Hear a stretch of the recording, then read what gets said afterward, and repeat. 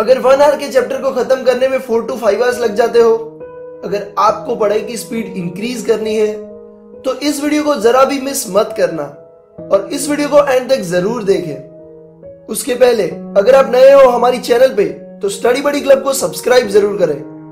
यहाँ पे हमने 200 से भी ज़्यादा स्टडी टिप्स एंड ट्रिक्स के वीडियोस अपलोड किए हुए हैं जो आपको श्योरली हेल्पफुल होंगे। सो so, आज की यूनिक टेक्निक का नाम है ऑर्डरिंग टेक्निक ऑर्डरिंग टेक्निक अब ये क्या है भाई? दोस्तों, जब पढ़ाई में मन ना लगे, जब 10 मिनट का टॉपिक 50 मिनट ले ले, तब आपको इस ऑर्डरिंग टेक्निक का यूज़ करना है। इसमें सिंपली आपको कुछ समय समय पे अपने आप को ऑर्डर करते रहना है, जिससे आपका माइंड ऑलवेज आपके काबू में रहे, किसी विचारों में ना खो जाए, और आप जो चाहो उसे पूरा कर सको टाइमली ये टेक्निक वैसे तो बहुत सिंपल है, पर कुछ फैक्ट्स आपको और जानने बहुत ज़रूरी है। ताकि आप इसका बेस्ट यूटिलाइज कर सके। या मैं तीन चीज़ें बताऊँगा, जिसका आपको ऑर्डर देते समय बहुत ध्यान रखना है। उसमें से जो चीज़ मैं लास्ट में बताने वाला हूँ, उसे तो कभी मत भूलना। उसे गजब की स्पीड बढ़ेगी। सबसे पहली बात पास्ट को भूल के ऑर्डर पॉजिटिव वे में दे। ऐसा नहीं है कि आप बोलते रहो, यार कितना टाइम वेस्ट हो गया, अब क्या पढ़ूँगा? चलो अब जल्दी जल्दी 20 मिनट में इस चैप्टर को खत्म करता हूँ, और कोई ऑप्शन भी नहीं है मेरे पास। पर आपको उसकी जगह कुछ ऐसे बोलना है। जो हुआ सो हुआ, पर अब ये लास्ट ट्वेंटी मिनट देनी है इस चैप्टर को। कुछ भी हो जाए, मैं खत्म करके रहूँगा। आई नो मैं कर लूँगा, और बहुत अच्छी तरीके से करूँगा। सो ऐसे बोलने से आपका पढ़ाई का पूरा एटीट्यूड चेंज हो जाएगा। दूसरी बात आपको ध्यान रखनी है कि आपको ऑर्डर के बाद के बेनिफिट्स को हाईलाइट करना है।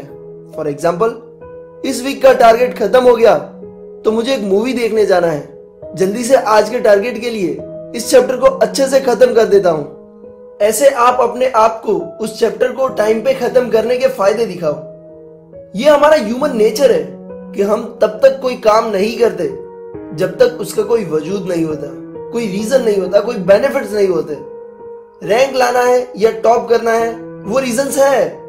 पर इतना घिसा पिटा हो चुका है कि मुझे पता है, आप पे वर्क नहीं करेगा। सो आप ऐसे आपको जो अच्छा लगता है, उसकी लालच दे। अब लास्ट चीज़ जो बहुत इंपॉर्टेंट है, अगर ऊपर की दो चीज़ें फॉलो कर ली, पर ये थर्ड चीज़ भूल गए तो भी उतना रिज़ल्ट नहीं मिलेगा। थर्ड चीज़ एक्चुअली आपके क्वेश्चन का आंसर है। कितने टाइम के काम के लिए ऑर्डर देना है? One hour two hours five hours और टेन आवर्स दोस्तों, इस टेक्निक का अगर बेस्ट रिज़ल्ट चाहिए तो हो सके उतने ज़्यादा ऑर्डर दो अपने आप को। यानी कि दो ऑर्डर के बीच में जितना हो सके उतना कम गैप रखो। फॉर एग्ज़ाम्पल एक चैप्टर में टेन क्वेश्चन है। आपने अपने आप से ऑर्डर किया कि मुझे वन आवर में इस चैप्टर को खत्म करना है। तो ये थोड़ा लॉन्ग हो जाएगा। सो टेन क्वेश्चन के हिसाब से आप डिसाइड कर लो कि दस मिनट एक्स्ट्रा रख के एक क्वेश्चन को पाँच मिनट देनी है। सो हर क्वेश्चन की शुरुआत में आपको अपने आप को ऑर्डर देना है कि मुझे पाँच मिनट में इस क्वेश्चन को खत्म करना है और इतने मिनट में मुझे नेक्स्ट क्वेश्चन उठाना है। इससे आपके माइंड को टाइम ही नहीं मिलेगा, कहीं और भटकने का। और 100% परसेंट एफिशियंसी एंड स्पीड के साथ आपकी पढ़ाई होगी। अगर मेरी ये छोटी सी कोशिश आपको अच्छी लगी हो तो प्लीज़ मुझसे जुड़ने के लिए स्टडी बडी क्लब को सब्सक्राइब करें। इस वीडियो को लाइक करके मेरा हौसला बढ़ाए। Thank you so much for watching this video जय हिंद।